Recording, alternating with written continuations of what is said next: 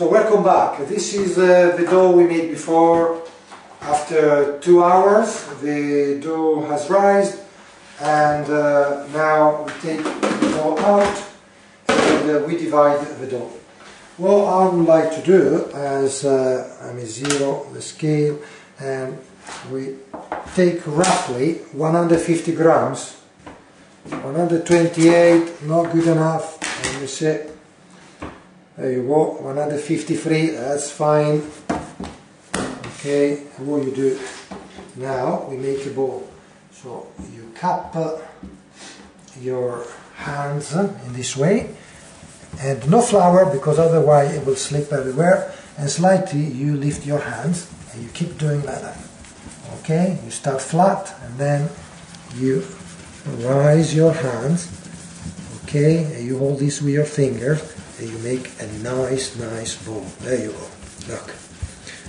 And now what you do perfect.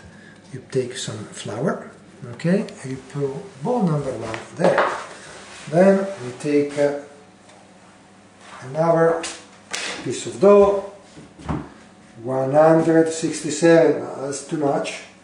I want uh, 150 152 whatever. 153 exactly like that. We fold slightly like that okay. And now under my hand stay away from the flour okay.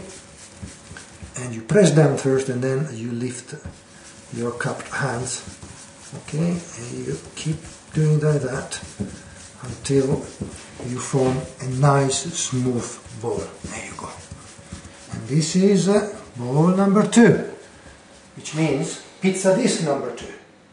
Okay?